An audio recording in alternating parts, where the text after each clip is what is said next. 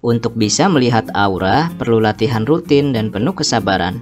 Warna aura seseorang juga bisa dirubah sesuai kebiasaan yang dilakukan seseorang. Kids, aura dianggap sebagai gambaran dari kepribadian atau watak yang dimiliki seseorang. Dan tiap manusia memiliki warna auranya masing-masing. Tapi nggak semua orang punya kemampuan melihat aura orang lain. Setidaknya ada tujuh warna aura manusia yang memiliki maknanya masing-masing. Penasaran? Yuk kita cari tahu apa saja tujuh macam aura yang ada pada manusia serta maknanya. Sebelum kita lanjut videonya, jangan lupa klik tombol subscribe dan tombol loncengnya ya. Merah Seseorang yang memiliki aura berwarna merah memiliki kepribadian dengan kemauan keras, to the point, energik, bekerja keras, aktif, mudah diajak bekerja sama, realistis, dan cukup kompetitif. Selain itu, orang dengan aura merah biasanya sering bersikap impulsif dan sulit menghadapi perubahan dalam hidupnya. Kondisi yang mudah cemas membuat mereka mengalami berbagai masalah kesehatan. Kuning Warna kuning memancarkan aura yang ceria, ramah, dan biasanya mereka yang memiliki warna aura kuning biasanya cukup santai, kreatif, dan optimis.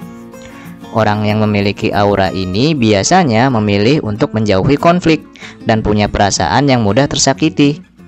Selain itu, orang dengan aura kuning juga sering dimaknai sebagai seseorang yang pemalu dan sering mengalami masalah kesehatan yang berkaitan dengan kesehatan organ limpa.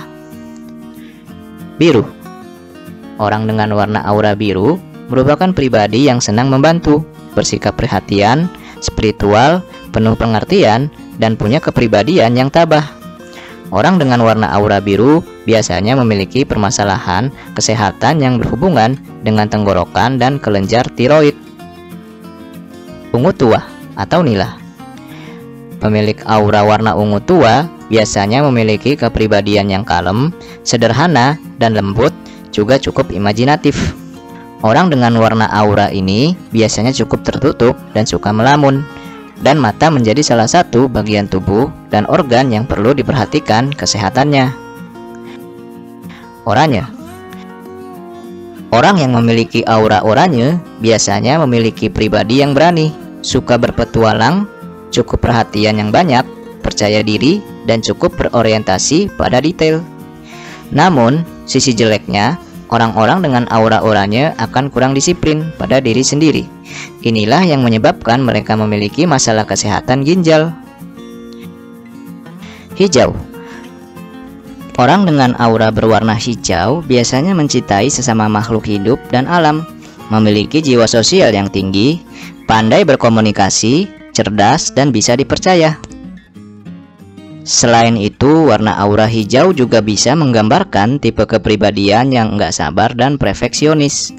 Biasanya orang-orang dengan aura ini memiliki masalah kesehatan dengan organ paru-parunya. Ungu Pemilik aura warna ungu biasanya menunjukkan kepribadian yang bijaksana, mandiri, idealis, sensitif, cerdas, berwibawa, dan cukup ekstrovert. Biasanya orang dengan warna aura ini memiliki masalah kesehatan dengan sistem saraf dalam tubuhnya. Untuk bisa melihat aura, perlu latihan rutin dan penuh kesabaran. Warna aura seseorang juga bisa dirubah sesuai kebiasaan yang dilakukan seseorang. Hal ini bisa dirubah karena berkaitan dengan keseimbangan energi dalam tubuh dengan alam yang ada di sekitarnya. Itulah tujuh jenis warna aura pada diri manusia yang memiliki maknanya masing-masing. Sampai di sini dulu ya videonya. Jangan lupa like, komen, subscribe, dan share ke teman-teman lainnya ya kids. Bye-bye!